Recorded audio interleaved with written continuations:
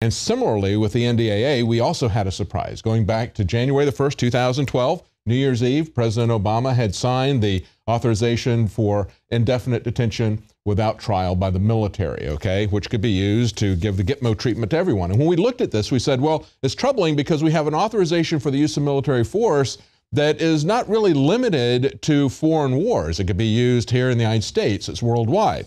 Now, they said at the time on the uh, authorization of use of military force, that was directed against Al Qaeda.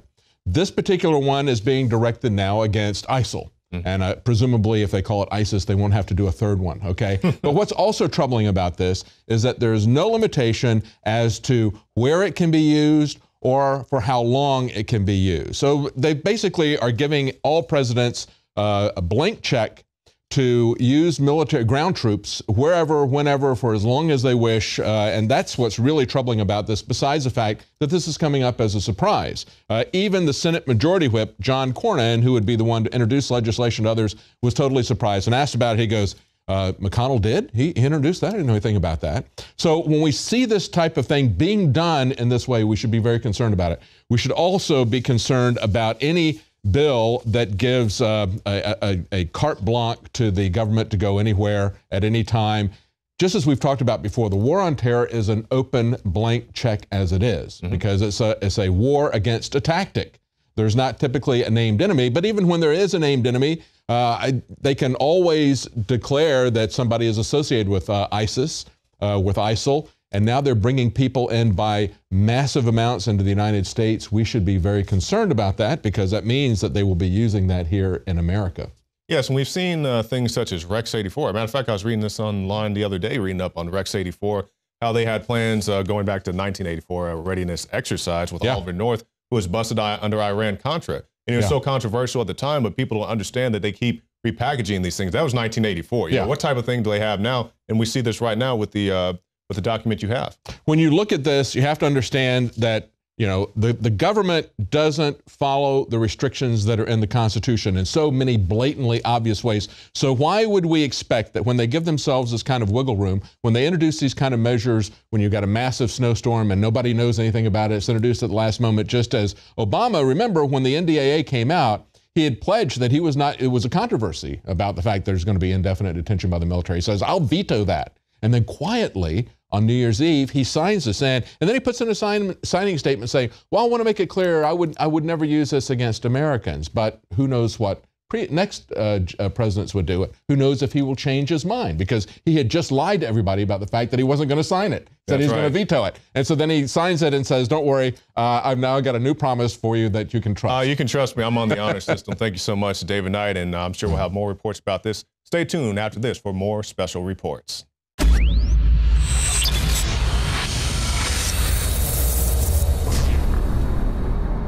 Shane Steiner's involvement with InfoWarsLife.com truly happened in an organic way. I went to high school with Shane, his brother, knew his parents well, and he was visiting the office once, hadn't been to the office in years, and said, Wow, I notice you're making and selling supplements. Do these really work? Because I've tried a lot of supplements as a, a workout enthusiast, and I really think most of them are hype. And I said, Here, take some home, try it. Well, a few weeks later, he came in blown away and said, I want to buy three boxes of this stuff to give my friends and family. It's simply amazing. He said, Why does it work so well? And I said, Listen, go to InfoWarsLife.com, watch the informational videos with Dr. Group and others. They understand how it all works. I know that it works for me. That's all I understand. The science, the facts, the research, people's testimonials, they're all on InfoWarsLife.com. You can check it out for yourself. I wanted to go to the gym. I wanted to push myself and work out harder. And that led to me being able to come out and do stuff like the barefooting and the surfing and stuff like that, which I've never done. I, I never would have done that uh, two years ago. Shane has said over and over again more than just libido and energy, it made him want to get into the gym more. It made him want to get in better shape. And believe me, the Steiners have amazing genetics. Uh, his brother is a world champion steer wrestler. His dad, Bobby Steiner, is a famous world champion bull rider. They've got natural genetics. But when you added this to the mix, in Shane's own words, it took him to the next level.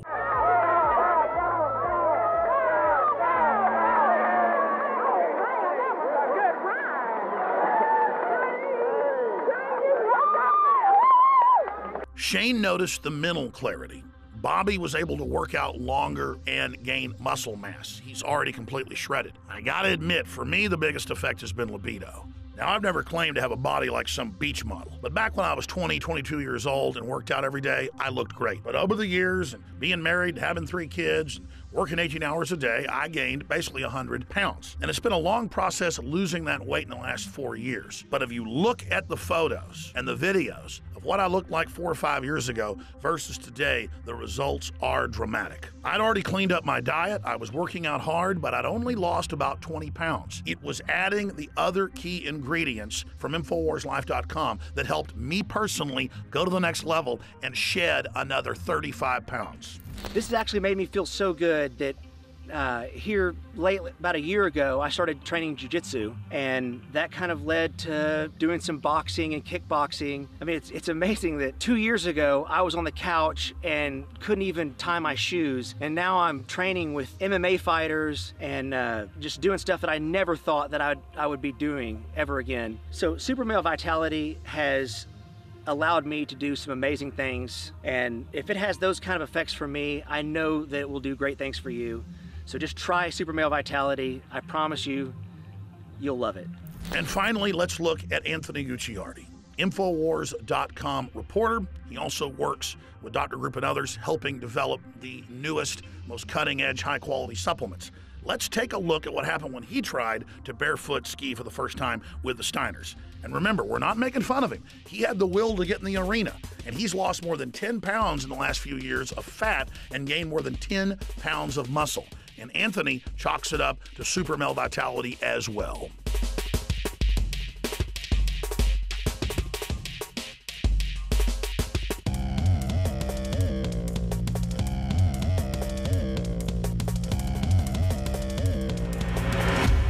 Bottom line, folks, you want to discover the power of super male vitality and super female vitality for yourself by visiting InfoWarsLife.com today or by calling toll free 888 253 3139. Leanne McAdoo for Infowars.com. I'm standing here in front of the water line in Flint, Michigan. Now, people have been coming in and out of here all day, every day, since a federal emergency has been declared. We've got the Army National Guard out here. Uh, everyone rolls up to this water line. They've got to show ID, and each family receives one case a day. And like we heard, uh, one of the residents here tell us that you know you got to use one bottle of water to get yourself soapy and the next wa- bottle of water you'll use to actually clean all the soap off. So if you can imagine for a family of four or five that's not that much water to last you throughout the day. They have had some reports of people actually trying to cheat the water system getting more cases of water. And of course you know some people aren't even able to come here and get that water so they're being taken advantage of uh, by people who are trying to resell this free water. Um, again they're taking donations and they say they haven't run out of water just yet but we do have um, you know Cher has said she's going to donate about 200,000 cases of water so I mean that's pretty impressive people are all stepping up here uh, but as you can see this is the state of emergency here in Flint Michigan this is what people um, are having to deal with depending on the, the government and the uh, assistance of kind people and their donations to get this one case of water a day. Stay tuned to Infowars.com for more reports. Sixty-six dollars before one drop of water comes out my tap, yeah. and we paying for it. We can't bathe in it. We can't cook in it. We can't do anything. I lost the animal to feeding it to it. You can't do anything with it. The only thing you can do is flush your toilets, mm-hmm. and that's the God honest truth. Yeah. And make sure that you use cold water with anything in Flint. Hot, yeah. the vapors are killing us. That's, that's where the and the vapors have asthmatic. Um, my husband, he has COPD. I'm asthmatic. Well, you know, the hair loss, I've got it. People want to talk about it. Let's talk about it. Because I'm 52 years old. I've hair that was down to my butt. Now I've cutting it because I got to hide the bald spots from the water. And where we got to go? Where we going to go to bathe? What are we supposed to do? We, we, we can't go nowhere. We have to pay for this water. We've got shut off notice. Oh, they're not going to give you shut off notices. They're not going to do it in December. Oh, yeah, yeah. Let me tell you. Yeah, shut me off in December, all right, for non payment. Had to pay it, or in December, you know, my kids would have went without Christmas. We had to pay for water that stinks. You can't drink. You can't smell. Looking at it make you choke up a little bit. The It's amounts sickening. That we pay are high. We have, We really have the high highest rates. water rates. They upped our water rates Bucks a month. Here we're three paying times hundreds. in one year, and it was like 70% in one year without um, the people's vote on it. We didn't have a say in it. It went from one amount to another amount to another amount, and it's like, oh, well, I ain't using that much water. Oh, now your water bill's this much. You know? And I have another problem with the Flint's basic um, little thing and their political gain here. Isn't it funny that we've got this, I'm going to call it Watergate? Because there was a, a break in to the city files, the water department, and only the things that can get the people that did what they did or got the dirt on them come up missing. Not my bills, not the meter ridden bills, not the bills going to be sent to the people, just the information that's going to cover their butts came up missing. Can anybody say Watergate? And it isn't it isn't them against us and it shouldn't be it should be we the damn people for once. Stand together united. It is I am just one of all of us. And it takes all of us to make this merry-go-round go. You know? And that's what makes me so angry is like I don't want to talk. I didn't want to either. You know? Because I'm so angry now that sometimes biting my tongue just ain't enough. And I look at my grandson and he's got sores and I look at the skin problems and he's um a mixed child and he has a lot of uh, skin issues anyways with ashiness and this, and nothing's hitting it. He's had little spots on his head and like she said with her son, oh that they were saying it was scabies last year. No, they told my grandson, oh it's scabies, put this on it. Oh no, try this antibiotic, try that. It was never scabies. Here they're, we're poisoning our kids, putting this stuff on them day after day for these rashes that never went away until they, we stopped using the water. You know what I do? It takes five waters, bottles of water to take a shower in Flint. You dump the first one over you, and it gets your hair wet. You wash up, you get all soapy up, and you kind of let it just drizzle down, wash it up, and then you use the next four to rinse off. Ta-da! That's a friggin' shower in Flint. I'm here with business owner Rob Clady. Now, Rob, thanks for talking to us. How has this affected you, knowing that the water is contaminated here? What's it doing for business? What's the the, the mood in the air? Well, the mood is concerned. I think almost every one of our customers that haven't been here before will ask that question about the water, like, what are you doing? What do you think? And so, yeah, it's something that we've had to, to deal with. I'm sure it's impacting um, sales, but I do feel pretty fortunate that, um, you know, we're still doing quite well. People are coming in, and I think it has even inspired people that want to support us, knowing that we do test, that we're safe, uh, to get out and help, and help us out too. So, um, all in all, I mean, there is a very concerned mood in the city, but I mean, personally, I feel very fortunate.